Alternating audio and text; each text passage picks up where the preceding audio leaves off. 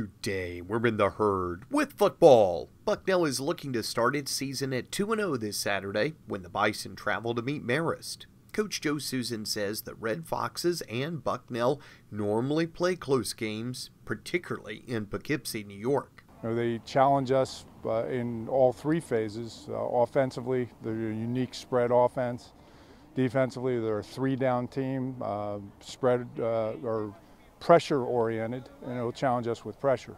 One of our big three in the uh, approach this weekend is to uh, beat the blitz, and we've got to do our best to do that. One person who could help beat Marist's blitz is wide receiver Josh Brake, who caught a TD pass and also ran a punt back for one against VMI this past Saturday. that was just something I've never done before. Um, you know, I returned punts in high school, didn't really do anything special. I had a couple of good returns, but never scored a touchdown. Uh, and I've scored receiving touchdowns before. So just being able to run, like, that's probably the biggest run that I've had with the ball in my hands.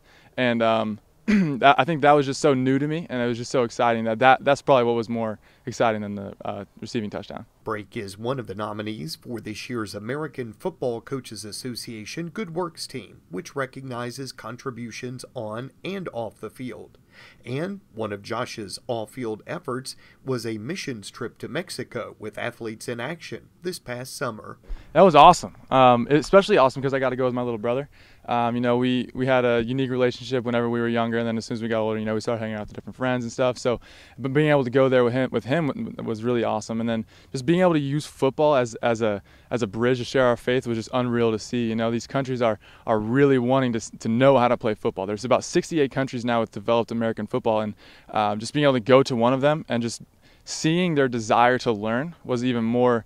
Um, humbling to me as a player coaches asking me um, different things how to how to do certain routes and how to do some certain things in the offense. And then sharing the faith that was so rewarding. I got to share I got to share my faith with some rugby guys there, um, which was totally unreal. Expecting to go there coaching up some football and telling people football players about about Jesus, but I ended up telling some rugby players about Jesus. So that was it was really neat to see God just work in that in that mission trip and just being able to go there with my little brother, and it was awesome.